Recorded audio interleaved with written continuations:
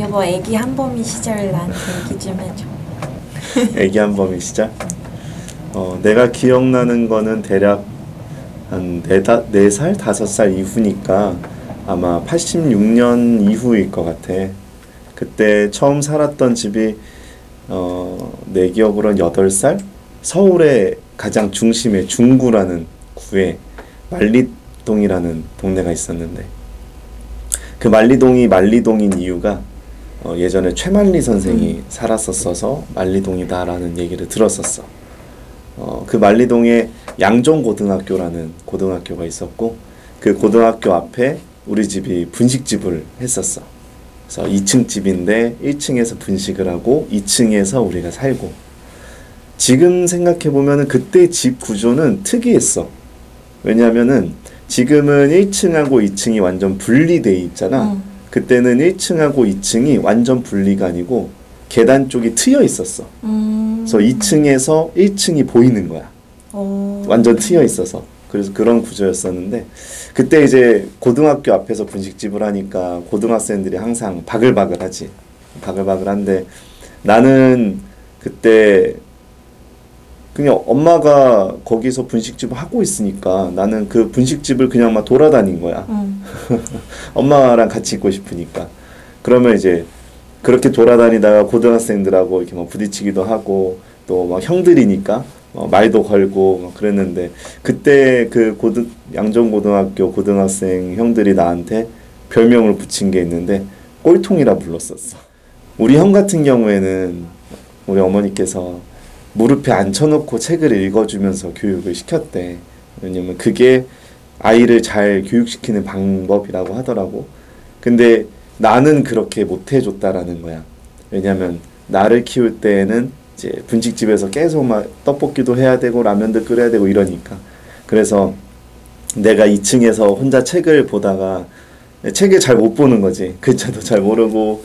그래서 책을 들고서는 쪼르르 계단을 이렇게 내려와서 엄마가 그 주방에서 막 만들고 있는데 옆에 가가지고 엄마 책 읽어주세요 이렇게 얘기했대.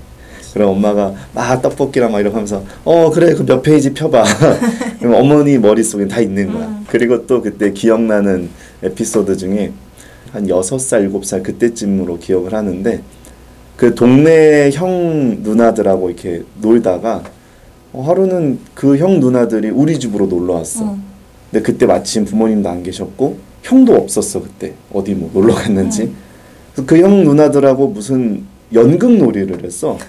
연극 놀이를 하는데 나한테 너는 뭐 왕자인데 죽은 왕자다. 그래서 죽어 있으래. 그래서 가만히 이렇게 죽어 있었어 시체처럼. 그러고서는 한참을 지났는데 나를 아무도 안 깨우는 거야. 그래서 어 뭐지? 그냥 한참을 지났는데 조용해. 보니까 다 없어. 집에 갔어? 어. 그래서 어, 다 어디 갔지 했는데 그러고서는 나는 뭐 그냥 뭐 다 집에 갔나 보다 그러고서 저녁에 이제 어머니가 들어오셨어. 근데 어머니가 들어왔더니 집이 다 난장판인 거야. 그리고 중요한 건 폐물이 다 없어졌어. 그래서 어머니가 깜짝 놀란 거지. 애들이 몇 살인데 집에 그렇게 와가지고. 어. 그때 뭐 동네 형 누나들이라고 해봤자 다 국민학교 다닌 음. 애들인데 그 폐물들을 막 다 훔쳐간 거야. 그래서 엄마가 화가 머리끝까지 난 거지. 그래서 일단은 나를 엄청 혼냈어. 어. 엄청 종아리를 맞고 그러고서는 그 밤에 어머니가 동네를 다 돌아다녔고 음. 그때 기억나는 것 중에 그 다음 날 날이 밝고 뭐 동네에 막 모였어. 그 동네 어. 아주머니들이 다 모여가지고 우리 엄마한테 사과하고 애들도 막 사과하고 그런 기억이 나. 근데 그거에서 끝나질 않고 우리 어머니 여전히 화가 많이 나 있으신 거야. 그래서 나를 혼내는데 난 어렸을 때 되게 많이 맞았었거든. 음. 이제 몇 살 이후로는 안 때리셨는데 그 그때는 너무 많이 때리시는 거야. 화가 많이 나셨겠지. 그래서 내가 맞다가 도망갔어. 너무 아파서 더 이상 못 맞겠어서 골목길이 많다 그랬잖아. 그 골목길로 막 도망갔어. 근데 그 골목길이 정말 사람 두 명이 지나가기에도 빠듯한 그런 골목길이거든. 근데 거기를 나 혼자서 막 이리저리 막 도망가는데 엄마가 계속 쫓아오는 거야. 음. 몽둥이 들고 너 거기 서라고. 그랬던 기억이 나. 그래서 난 어렸을 때 어, 부모님이 되게 어려운 존재였어. 음. 그래서 뭘 사달라고 뭘 달 어떤 요구를 하는 것 자체가 되게 어려웠었어. 그래서 내가 뭔가 힘든 게 있거나 어려운 게 있거나 그래도 그런 거 얘기를 거의 못하고 그냥 나 혼자서만 삭히고 그랬었어. 그리고 음, 그 동네에서 이렇게 살다가 한 아홉 살쯤으로 기억을 해. 여덟 살까지 그 동네에서 살다가 아홉 살이 돼서 다른 동네로 이사를 갔는데 그래도 여덟 살까지 살았던 그 집은 그 달동네에서도 이제 그 지대가 낮은 쪽이었으니까 그래도 뭐 그렇게 엄청 나쁜 집은 아니었어. 근데 아마 그 시기쯤에 양종고등학교에 이사를 갔나 싶어. 음, 그리고 거기 이제 손기정 기념공원이 들어서고 분식집 운영을 더 이상 못하게 됐던 것 같아. 학생이 없으니까. 음. 그래서 가세가 기울고 이제 이사를 가게 된 거지. 근데 이사를 가게 된 집이 공덕동으로 갔어. 그 이제 지금 마포구 공덕동이지. 그 공덕동에 진짜 달동네로 간 거야. 정말 이런 높은 그런 지대에 막 계단도 엄청 많이 올라가야 되고 정말 그 골목 골목길들밖에 없는 그런 달동네로 이사를 갔는데 그래서 그 집에서 살면서 참 여러 가지 기억나는 것들이 있는데 그 중에 하나가 연탄 보일러를 떼잖아. 하루는 밤에 자고 있는데 누가 막 깨우는 거야. 어. 그래서 뭐 애기니까 아왜 깨워 그래서 깼는데 뭔가 연기가 자욱해 음. 집에. 그러더니 나한테 그 김치 국물을 동치미 먹어야지 동치미. 내 기억엔 아마 그때 열무김치 국물이었던 아, 것. 같아.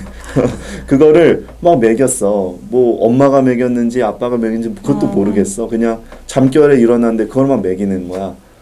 그래서 다음 날 이제 들었지. 불났어? 불이 난 게 아니고 연탄 보일러에서 이 연기가 새 가지고 어. 방으로 이제 들어오는 바람에 어. 그래서 그 연탄 그 가스를 이제 거실에서 주무시던 부모님이 이제 냄새를 맡고선 깨신 거야. 놀래가지고 나랑 형한테 그 연, 김치 국물을 먹였던 거지. 저 그런 생각을 가끔 해. 그때 그거 그 가스 안 마셨으면 더 내가- 똑똑해졌어. 내가 더 똑똑했을 텐데 그때 좀 머리가 이상해진 게 아닌가. 그 그때는 화장실이 바깥에 있고 재래식 화장실이니까 어 무서웠어. 그치.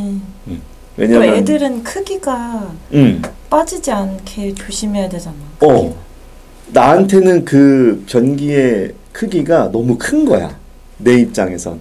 그리고 곱등이라고 하잖아. 어, 들어만 봤어. 곱등이가 정말 많았어.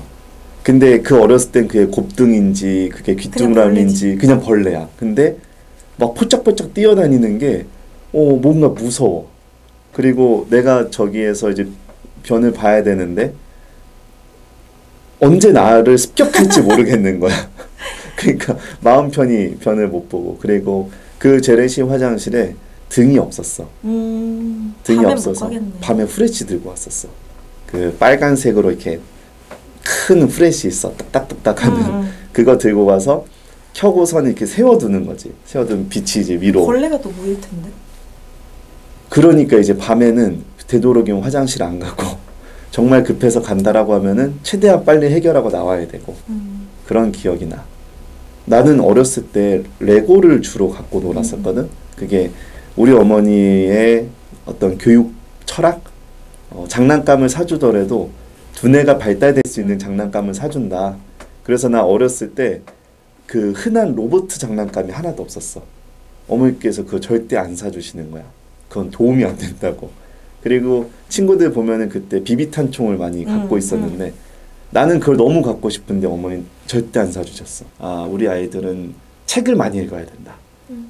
그리고 우리 어머니도 되게 앞서가셨던 게 그 달동네 살 때 달동네 살면서 우리 형한테 영어 교육을 시켰었어. 어. 91년도쯤이었겠지? 그때 어머니께서 컴퓨터를 사셨어. 음. 그때 무슨 생각을 하셨냐면은 앞으로 미래에 컴퓨터와 영어를 할 줄 알면은 잘 먹고 잘 살 거다. 어. 성공할 거다 라는 생각을 하셨던 거야. 그래서 나는 되게 어렸을 때부터 컴퓨터를 만질 수 있었어. 분식집이 이제 그만 분식집을 그만하게 되고 이 달동네로 이사 오면서 어머니께서는 이제 새 직장을 가지시게 된 거지. 왜냐하면 그때 우리 아버지는 어, 내 기억으로는 경제적 능력이 거의 없으셨던 분이었어. 그래서 집안의 경제를 어머니께서 책임을 지셨고, 그래서 그때 어머니께서 하셨던 게 그 웅진 출판에 다니셨어. 책 판매. 음. 어, 그 당시에 엄청 유행했던 게 백과사전이 엄청 유명했어. 음. 아마 그때 그 백과사전이 브리트니커 백과사전일 거야. 그래서 그거를 웅진 출판에서 판매를 해가지고 그게 그 당시에는 웬만큼 사는 집이다. 라고 하면 집에 백과사전은 있어야 되는 그런 시기였었어가지고 어머니께서는 원래도 이게 책을 좋아하시고 하니까 그 웅진 출판에서 영업을 하신 거지. 근데 어머니는 가족을 지켜야 된다. 우리 아이들을 잘 키워야 된다라는 그 일념이 엄- 엄청나게 강하신 분이셔서 그 달동네 살 때 거의 새벽 6시에 나가셨어. 나가셔서 집에 들어오시는 게 새벽 1시에 들어오시고 아니면 1시보다 더 늦게 들어오시고 잠깐 주무시고 또 나가시고 그래서 집에 거의 안 계셨고 우리 어머니는 웅진 출판 내에서 굉장히 그 전설적인 존재시거든. 왜냐하면 그 출판 영업에 있어서 말도 안 되는 기록을 세우셨던 분이야. 음. 시작하고서 8개월 만에 영업 왕이 돼. 음. 아마 2년이 채 안 돼서 부장이 되셨을 거야. 얼마 안 돼서 영업 상무까지 올라가셨어. 엄청 초고속 승진. 어, 나보다 해외 여행 더 많이 다니신 게 우리 어머니야. 근데 이제 또 사건이 벌어져. 어머니께서 웅진 출판에 나오시게 돼.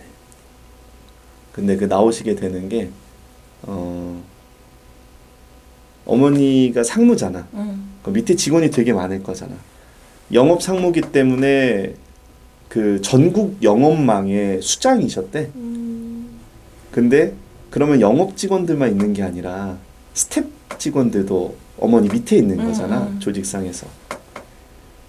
경리를 보는 직원 한 명이 돈을 횡령한 거야. 임원이 책임을 져야 되니 회사에서 권고를 했대.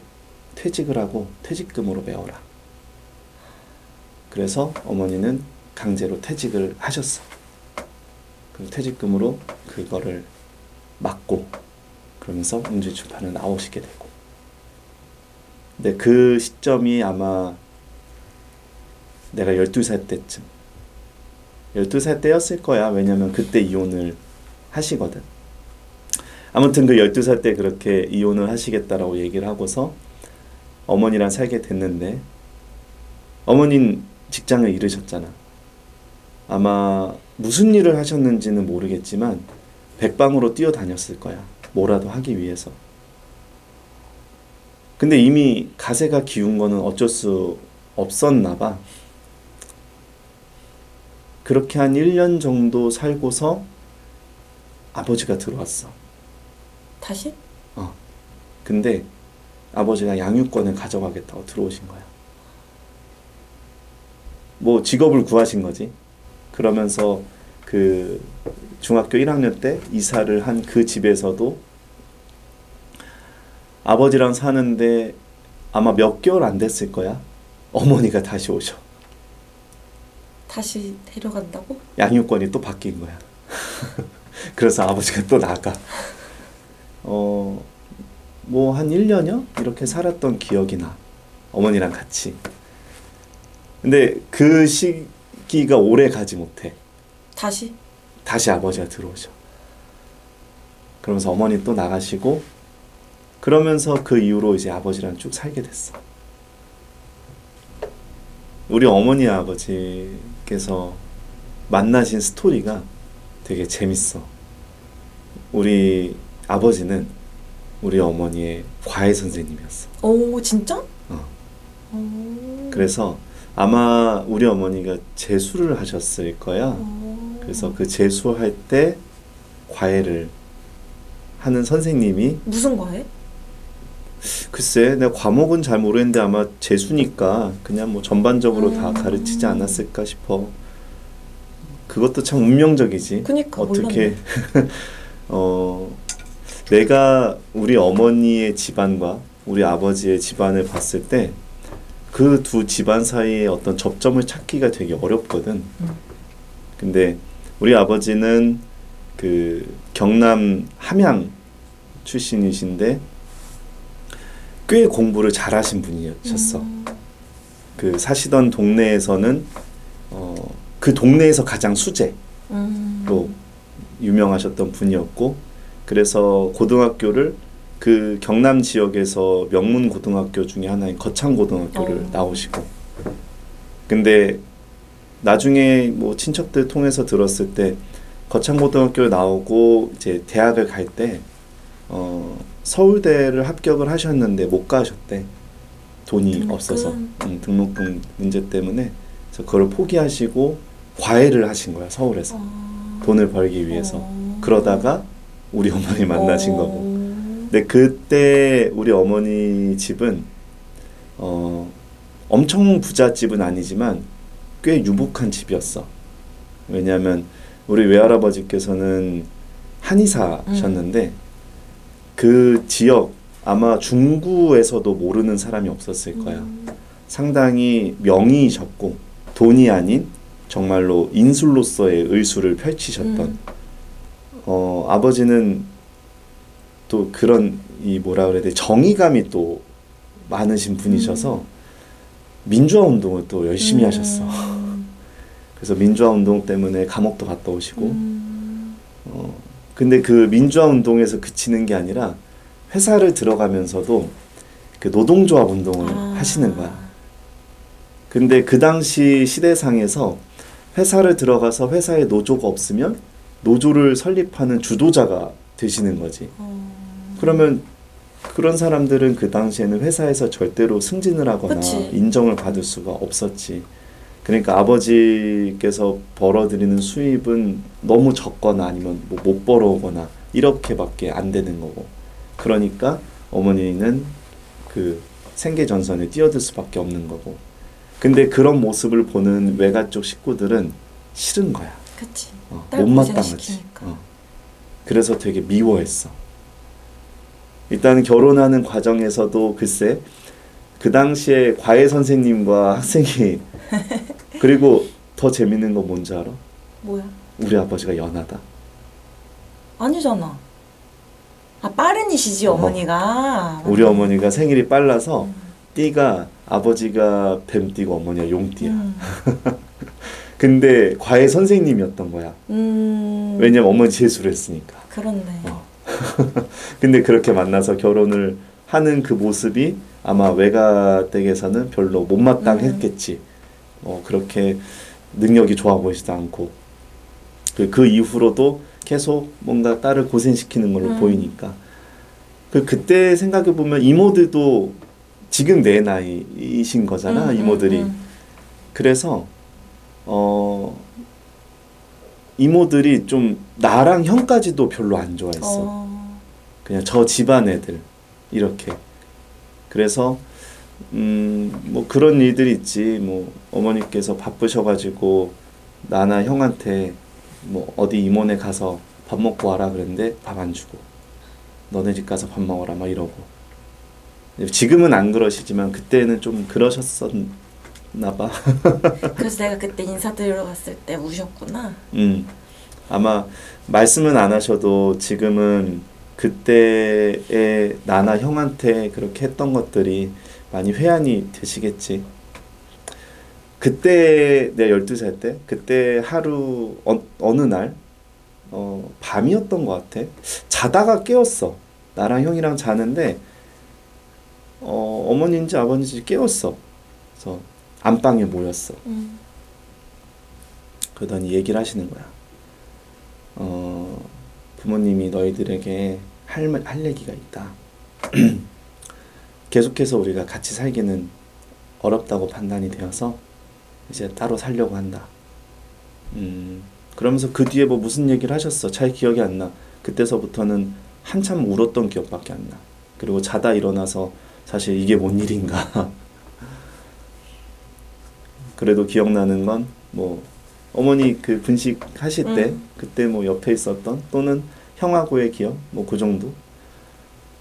그래서 나는 그 이혼이라는 게 그렇게 크게 다가오지 않았어. 어, 별로 달라지는 게 없는 거야. 아버지는 원래 집에 잘 안 들어오셨던 분이고, 뭐 계속 엄마랑 같이 사는 거고. 그래서 특별하게 그런 부모의 빈자리가 어떤가, 어떤 거다라는 거를 이게 알면은 힘들었을 텐데, 모르니까 오히려 안 힘들지 않았을까. 물론, 돌이켜 보면 여러 가지로 힘든 것들이 있긴 있었지. 근데 그런 거에 있어서 참 다행인 건 형이 있었어서 또 형이 그런 부분을 또 많이 채워주기도 했었고.